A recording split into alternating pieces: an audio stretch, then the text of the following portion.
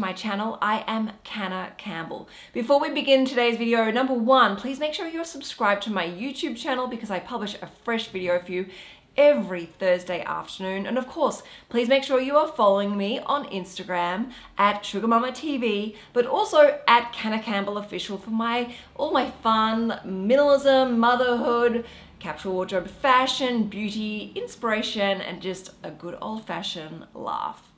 Alright, so this video is a short but sweet video and I have made this video for anyone out there who vapes but is desperately trying to quit vaping but struggling. For someone who is looking for the right motivation, inspiration, and good old kick up the ass to quit this toxic habit.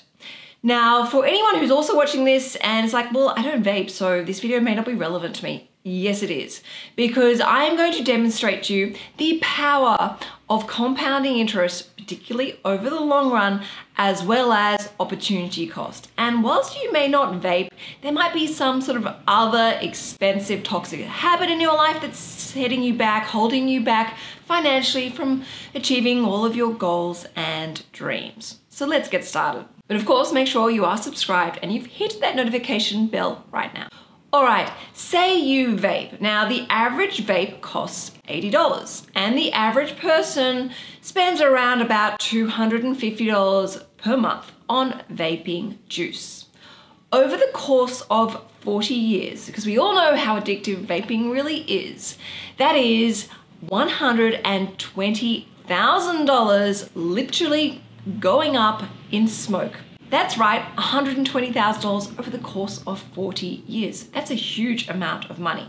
Now, say instead of vaping, we stop, we quit right now, and we go and invest that $80 upfront.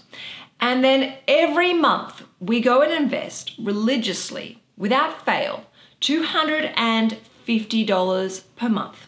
We never increase this amount, it just sits at $250 per month, regardless of what inflation is. We take a long-term buy and hold strategy.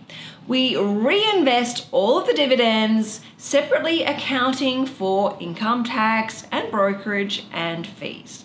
And we receive a net return of, say, around 7.5% per annum. Over the course of 40 years, this compounds and accumulates, and by the end of the 40 year period, your portfolio could be worth up to $757,000, of which up to $637,000 is actually your money working for you. That is interest. So my question to you is, what would you prefer to vape or $757,000. That is money that could allow you to retire on a healthier, wealthier retirement income stream. That is money that could potentially wipe out your mortgage and leave change and leave money left over. That is money that could be spent on travel and adventure. That is money that could be given to charity. Again, what would you prefer? Now, let's be honest. Most people don't just buy one vape that lasts them 40 years. A lot of people lose their vapes or they upgrade and replace them. So say on average, you replace your vape four times a year $80. Again, I'm not gonna even factor in the long-term impact of inflation here. I'm gonna keep it low key here for conservative measures. So if we want to account for upgrading or replacing a vape every three months, instead of spending $250 per month, we are actually spending say $276 per month, which of course we're not spending, we're now investing. Over the course of 40 years, keeping all the variables the same, guess how much this portfolio could be worth? And the answer is up to $836,000, with over $703,000 representing interest. That is your money working for you. So again, I ask you, would you prefer to vape or would you prefer $836,000? The choice is yours. So if you are interested in investing, I highly recommend number one, you do a risk profile. Number two, you start educating yourself and working out what is the right investment portfolio for you and what are your financial goals and what is your time frame for achieving those goals. If you're stuck for coming up with a financial goal, maybe think about setting a financial goal based around passive income. That is, how much passive income would you like to earn to be financially free? So if you are interested in investing and don't know where to begin, I highly recommend number one, do a risk profile. I have linked in the video description box below a fantastic free risk profiling questionnaire that can really help.